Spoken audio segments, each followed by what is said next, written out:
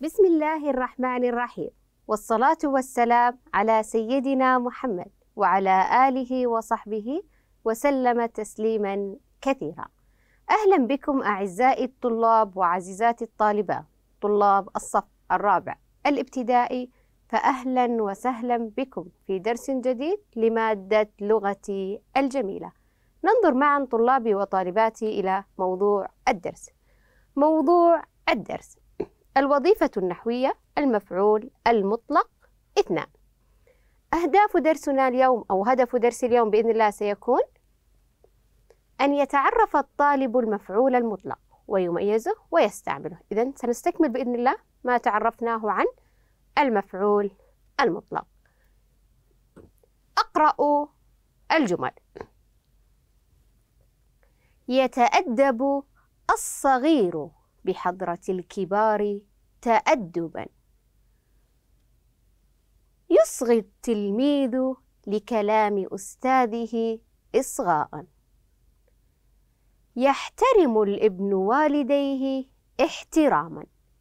إذا نلاحظ طلابي وطالباتي أولا. نوع جمل قلنا هنا جمل.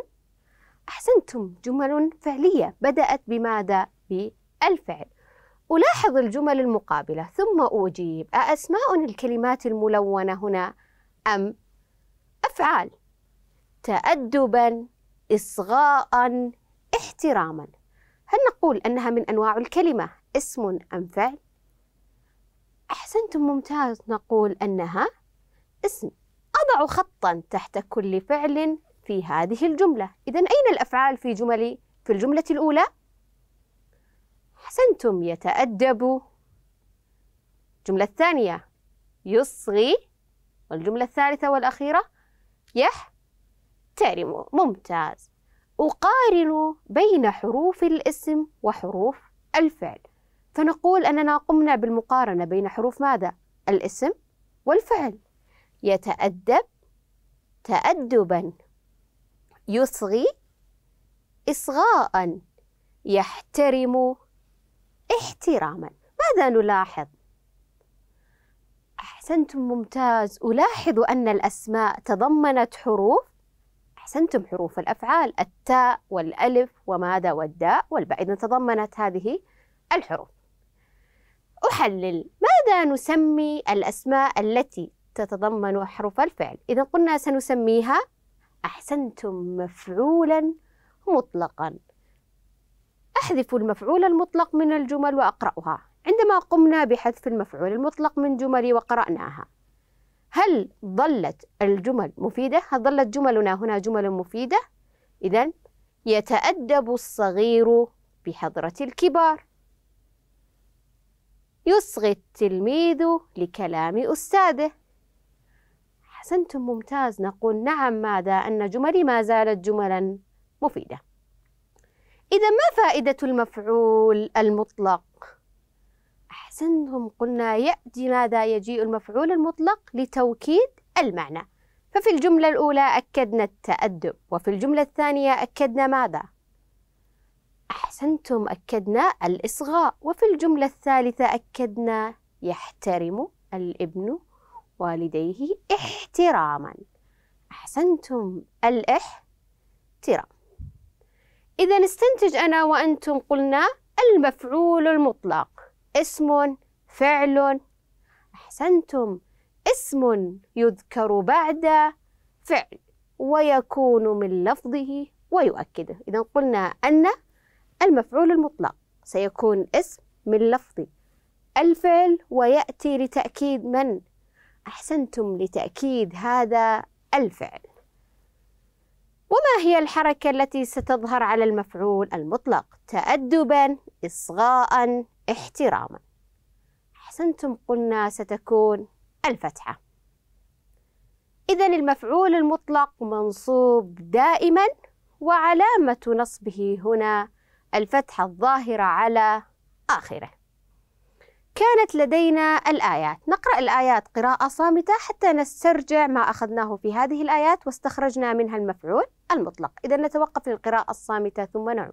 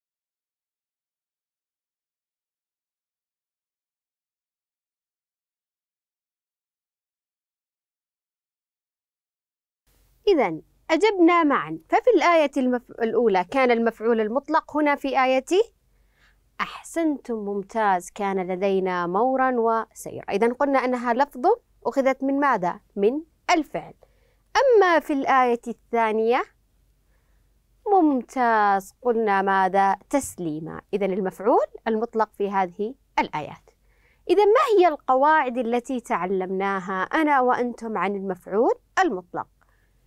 تعلمت قواعد لا أنساها. المفعول المطلق.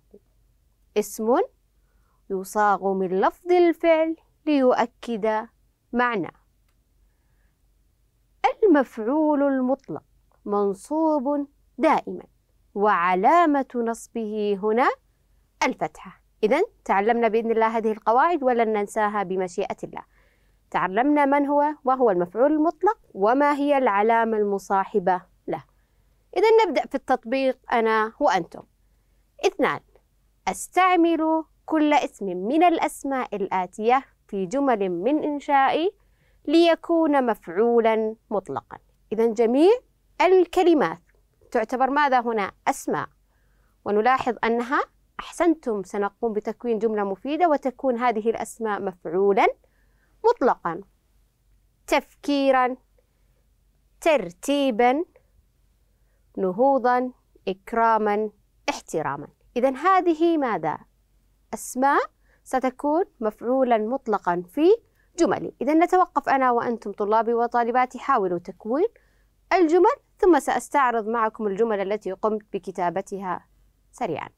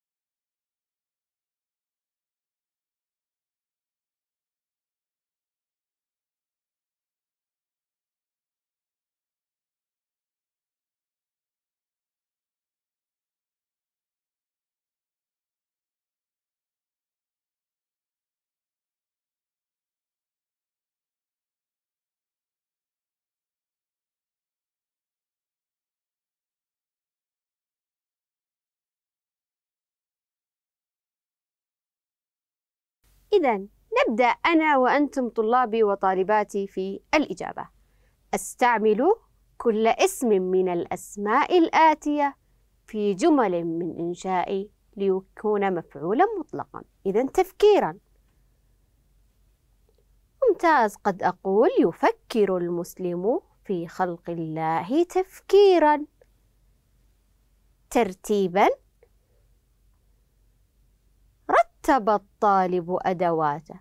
ترتيبا إذا لاحظوا كانت مفعولا مطلقا. نهوضا. ينهض العلماء بالوطن. نهوضا. إكراما. أكرم الرجل ضيوفه. إكراما. احتراما.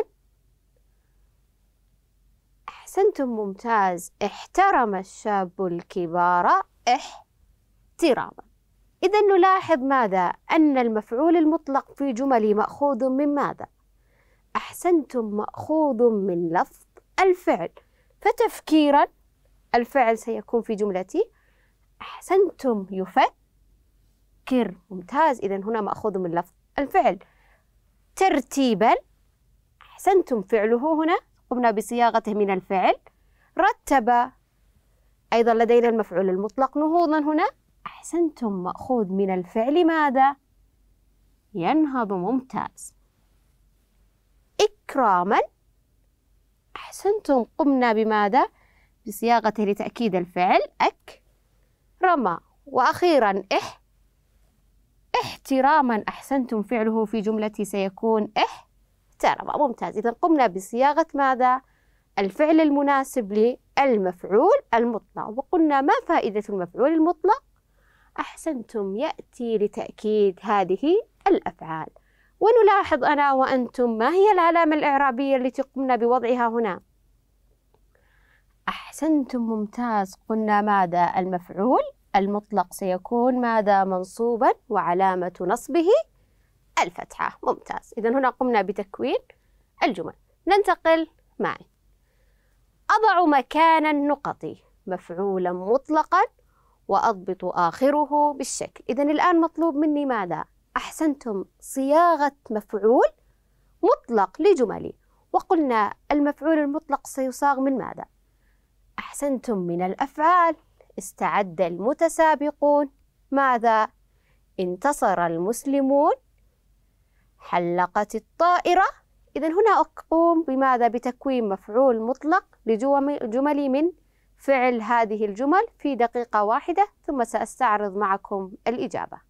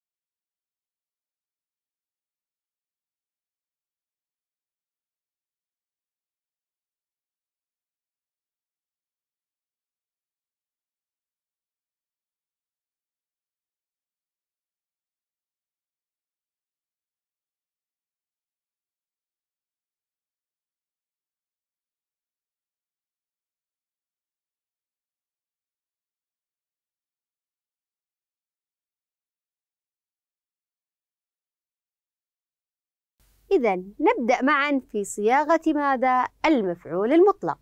استعد المتسابقون. إذا أين الفعل في جملتي أولا؟ أحسنتم. استعد. إذا أقوم بصياغة ماذا؟ المفعول المطلق من لفظه فأقول استعد المتسابقون استعدادا. انتصر المسلمون. أحسنتم. الفعل هنا انتصر. إذا سنقول انتصارا ممتاز. حلقت الطائرة. ممتاز. إذا فعلنا في الجملة. حلقت. إذا نقوم بصياغة المفعول المطلق. حلقت الطائرة تحليقا إذا هنا قمنا بصياغة ماذا؟ المفعول المطلق في جملي. أيضا أضع مكان النقط مفعولا مطلقا وأضبط آخره بماذا؟ بالشكل. احترم المسلم الطريق. إذا سيكون هنا الفعل. أحسنتم إذا أقوم بصياغة ماذا مفعول مطلق من الفعل؟ احترم. خفضت الفتاة صوتها في حضور والديها. أين الفعل هنا؟ أحسنتم ممتاز. خفضت إذا نقوم بصياغة مفعول مطلق من هذا الفعل. يبتعد المشجع عن التعصب. أحسنتم إذا فعلي هنا في الجملة يبتعد. إذا قمنا بتحديد الأفعال في جملي فما المطلوب الآن؟ الآن مطلوب منكم طلابي وطالباتي صياغة مفعول مطلق لهذه الأفعال ولا ننسى أن نضبط آخره بالشكل سريعا في دقيقة واحدة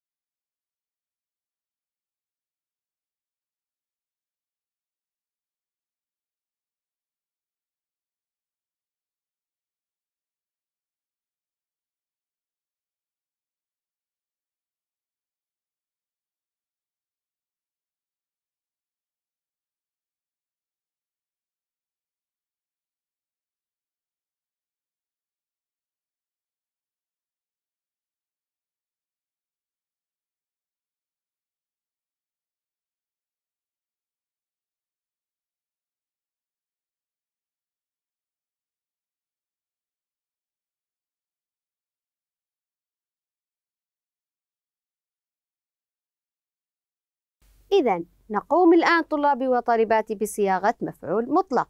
احترم المسلم الطريق. أحسنتم احتراما. خفضت الفتاة صوتها في حضور والديها. أحسنتم ممتاز. خفضا. يبتعد المشجع عن التعصب ابتعادا. ممتاز. إذا قمنا بصياغة المفعول المطلق. ما هي العلامة الإعرابية هنا؟ أحسنتم ممتاز لا ننسى أن نضع ماذا؟ ال فتحة قلنا المفعول المطلق دائما منصوب وعلامة نصبه ماذا؟ الفتحة إذا هنا قمنا بصياغة المفعول المطلق الآن سنقوم بالعكس ستكون جملي يذكر هنا المفعول المطلق وأحتاج إلى ماذا؟ أحسنتم أحتاج إلى الفعل الذي قمنا بماذا؟ بتأكيد لفظه أملأ الفراغ بفعل مناسب للمفعول المطلق إذا نحتاج إلى الأفعال. فراغ رجال المرور بعملهم. قياما إذا مفعولنا هنا. أحسنتم قياما. إذا ما هو الفعل هنا؟ قام ممتاز. أيضا سباق الدراجات انطلاقا. ممتاز. إذا أيضا مفعول المطلق هنا ماذا؟ انطلاقا. إذا الفعل سيكون أحسنتم انطلق. إذا يصاغ من هذا من المفعول المطلق. فراغ المركبة من إشارة المرور اقترابا. إذا المفعول المطلق اقترابا. سيكون فعله ممتاز. اقتربت. فراغ السفينة من عمق البحر. ابحارا. إذا أحتاج إلى فعل هنا. أحسنتم ممتاز. أبحرت. إذا هنا قمنا بذكر ماذا؟ أفعال للمفعول المطلق. إذا نبدأ طلابي وطالباتي في تطبيق هذا التمرين. أملأ الفراغ بفعل مناسب للمفعول المطلق. إذا نذكر ماذا؟ الفعل المناسب لمفعول المطلق في جملي في دقيقة واحدة سريعا.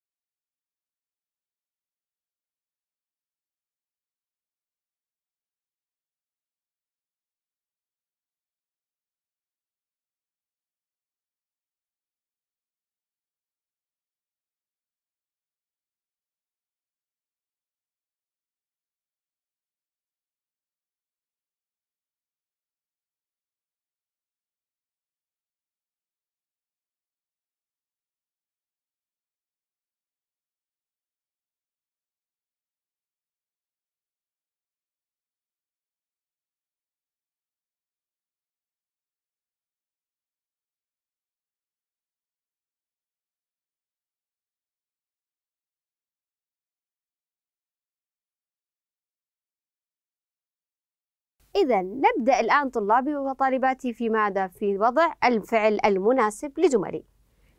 فراغ الأم على راحة أبنائها سهرا طويلا. إذا أين مفعول المطلق هنا؟ أحسنتم ممتاز. إذا سهرا. إذا أحتاج إلى ماذا؟ أحسنتم أحتاج إلى فعل يكون من لفظه. إذا سنقول ممتاز سنقول سهرت. إذا نلاحظ هنا أنني ذكرت ماذا؟ الفعل لهذا المفعول المطلق. فراغ المواطن وطنه حبا صادقا.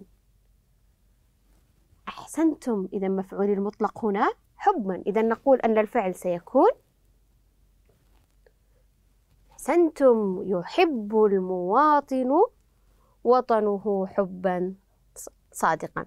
وطنه حبا صادقا. فراغ المعلم قولا حكيما. إذا سيكون فعلي ماذا؟ أحسنتم مفعول مفعول المطلق هنا قولا. إذا فعله سيكون قال المعلم قولا حكيما. والجملة الأخيرة فراغ الطالب اللوحة رسما جميلا. أحسنتم إذا مفعولي هنا رسما. سيكون فعله رسم الطالب هنا لوحة جميلة. ممتاز. إذا هنا قمنا بصياغة ماذا؟ الفعل لكل مفعول مطلق. ونلاحظ جملي هل المفعول المطلق يجب أن تكون الكلمة الأخيرة في الجمل؟ أحسنتم لا. إذا لا تشترط لا يشترط أن تكون ماذا؟ الكلمة الأخيرة في جملتي. إنما قلنا يشترط أن تكون ماذا؟ أحسنتم أن تكون من لفظ هذا الفعل وتأكيد تأتي لتأكيده. إذا سهرت سهرا. يحب حبا. قال قولا رسم رسما. إذا ننتقل أخيرا طلابي وطالباتي إلى ماذا تعلمنا اليوم؟ فنقول تعرفنا المفعول المطلق أيضا أجبنا عن أسئلة عن درسي في المفعول المطلق. طلابي وطالباتي نقف أنا وأنتم عند هذه النقطة. أشكركم جزيل الشكر على حسن إنصاتكم لي وألتقيكم بإذن الله في حصة مقبلة وإلى اللقاء.